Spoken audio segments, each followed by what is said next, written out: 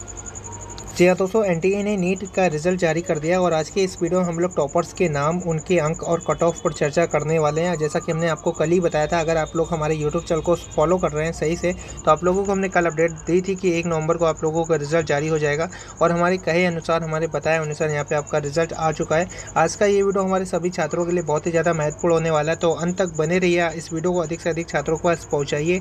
Channel पर नए तो सब्सक्राइब कर लीजिए, क्योंकि नीट एग्ज़ाम और मेडिकल लाइन से रिलेटेड अपडेट आप सभी तक सबसे पहले बिल्कुल सटीक पहुंचाई जाती है। चलिए वीडियो को स्टार्ट करते हैं। आप सभी के लिए सबसे बड़ी खुशखबरी एन ने जारी कर दी सबसे पहली अपडेट आपको बता दें हमारे जितने भी टॉपर्स हैं, ठीक है?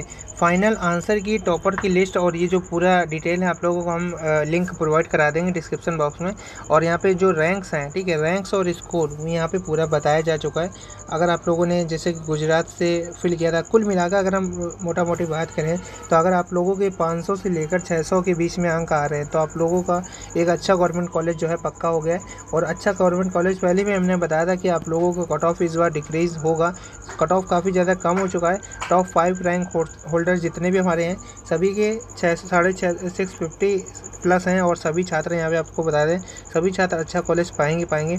इस बार आप लोगों को बताते हैं नीट के रिज़ल्ट में काफ़ी सारे चेंजमेंट आए, काफ़ी सारे परेशानियाँ आई, लेकिन जैसे ही यहाँ पे हाई कोर्ट ने मोहर सुप्रीम कोर्ट ने मोहर हट आप लोगों के रिज़ल्ट पर लगा दी कि अब जो है आप लोगों का रिज़ल्ट जारी कर सकता है एनटीए वैसे ही यहाँ पे दो दिनों के अंदर आप लोगों का जो रिज़ल्ट है वो जारी कर दिया गया। जितने भी छात्र हैं, अभी तक अपना रिज़ल्ट नहीं देख पाए तो आपको बता दें, आप लोगों का जो रिज़ल्ट है एनटीए आप लोगों को रजिस्टर्ड ई आई पर आप लोगों के भेज दिया साथ ही साथ आप लोगों रजिस्टर्ड मेल आईडी पर और आप लोगों को रजिस्टर्ड मोबाइल नंबर पर आप लोगों को रिज़ल्ट भेज दिया गया और जितने भी छात्र अभी भी जो है, अगर ऑब्जेक्शन करना चाहते तो एक मौका दिया जाएगा।